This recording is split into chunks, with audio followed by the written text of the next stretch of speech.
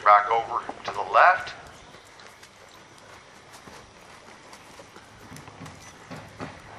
I've been talking all week about the idea of we need to get them moving off our leg. So the more I get this on her, then the more framework I'll have to use to fix things when I'm out there in the real world.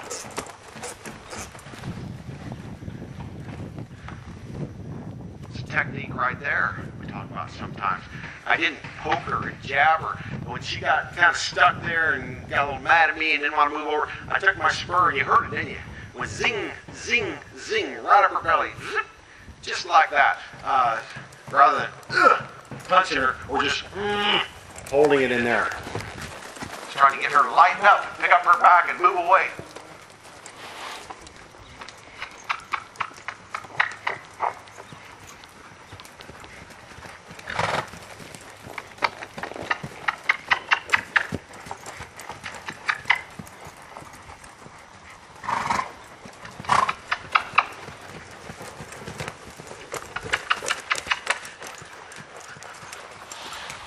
So I don't know how to move my frame. Get out of here.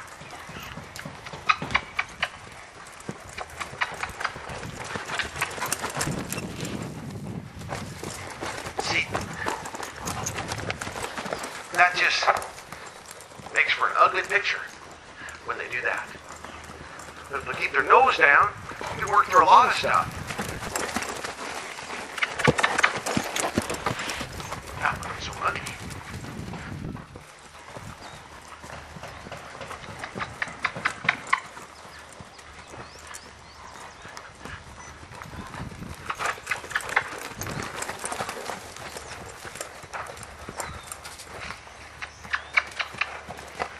There's the first time she kind of stepped around. Any bit of athleticism at all. Yeah, she's like a lead weight, isn't she? Yes. Move that rib cage over when I ask you to turn.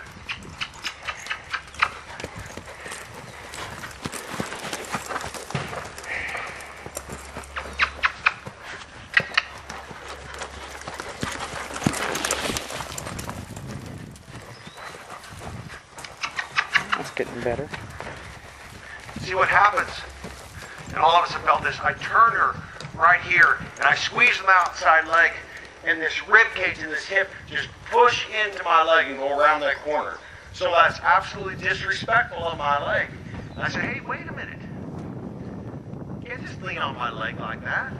Can't just make a motorboat turn like that. If I come in here and tip you into the fence, you've got to step across and you better get off that leg. And if you don't, I'll remind you how important that is. Is that when you go up the side? Might be, yep. Or do you pulse? It's a pulse with the reins. Zing, zing, get her over. Yes, Gail? I should have done that instead of jabbing, huh? Yeah, you know, every, every situation is a little bit different. If I was sitting on your horse, maybe I'd do something different. But for her right now, this is kind of what it feels like uh, she needs. Yeah, 'cause my, well, she was mad. Is that right? So Mhm. if I had singed her, maybe she would have just moved. Yeah. on. So I might come in here and see, I'm just kicking her. She's taking the brunt right there of the blow with my calf. I think my spur is just touching her, but, it, but it, it's not jabbing her, you know. I want her to. I want to feel like I'm not just an empty barrel. And then maybe now I'll come in and say, you know, that kick means something. Better step over.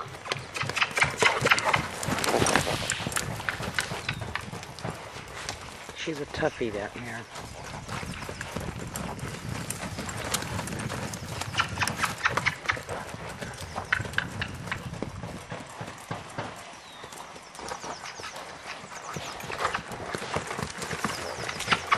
Looking that better, across.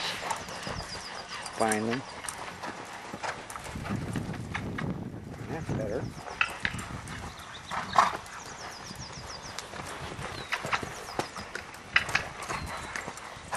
On, if you just hang around right there in that turn, above you, or you, or something.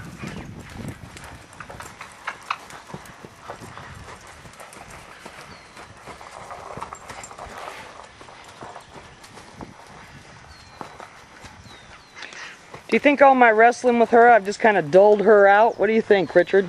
Tell me again. Have I just kind of dulled her out the way I wrestle with her so much and stuff? You know, because her out?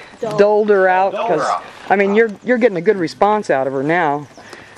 Yeah, when when there's confusion and they don't understand, they just, you know, kind of, eh, they put up defenses, they put up blocks, they try to go to the happy place, whatever they can do, because there's real no, there's real, not really any clarity there, you know. Uh, if you and I were sitting around talking, I understand perfectly what you're trying to get her to do, because we both speak English. But you go out and try to tell your horse, you don't speak English. There's only the only language he knows is the body language, horse language, and if we're not speaking that clearly, then they don't get it.